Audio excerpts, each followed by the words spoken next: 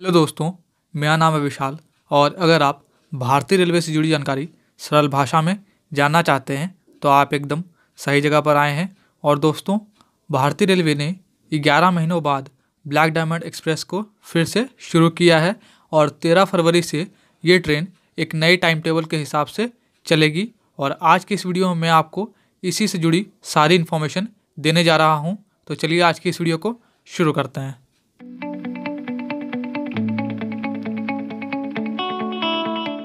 Two two three eight seven slash eight eight Black Diamond Express एक super fast express train है, जिसे कि एक जुलाई 2013 से शुरू किया गया था।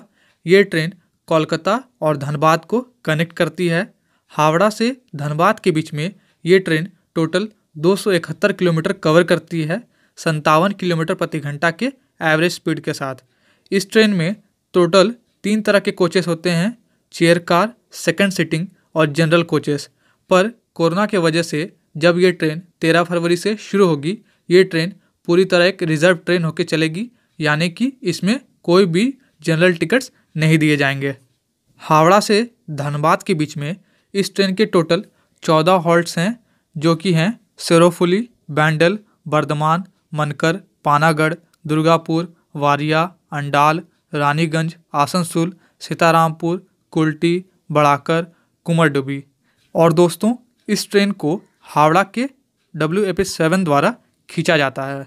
और दोस्तों, अब मैं आपको तेरह फरवरी से जो Howrah Dhanbad Black Diamond Express चलने जा रही है, उसके नए टाइम टेबल के बारे में जानकारी देने जा रहा हूँ। ग्यारह महीने बाद धनबाद से हावड़ा जाने वाली ब्लैक डायमंड एक्सप्रेस फिर से चलेगी। रेलवे ने तेरह फरवरी से इस ट्रेन को चलाने की घोषणा कर दी है। वापसी में हावड़ा से ये ट्रेन 14 फरवरी से चलेगी। रेलवे ने इस ट्रेन के टाइम टेबल में भी आंशिक तौर पर संशोधन किया है।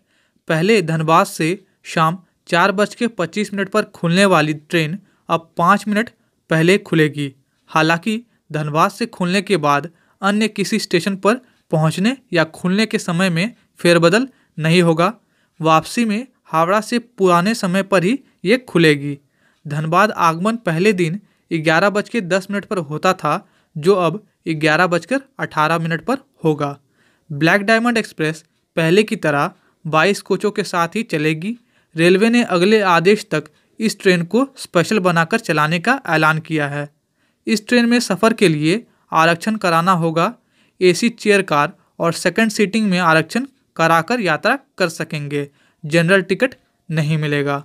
तो दोस्तों, आज की इस वीडियो में बस इतना ही। अगर आपको ये वीडियो पसंद आता है तो वीडियो को लाइक करें। अगर आप इस चैनल पर पहली बार आए हैं या फिर आपको ऐसी वीडियोज़ देखना पसंद है तो चैनल को सब्सक्राइब ज़रूर करें। जय हिंद।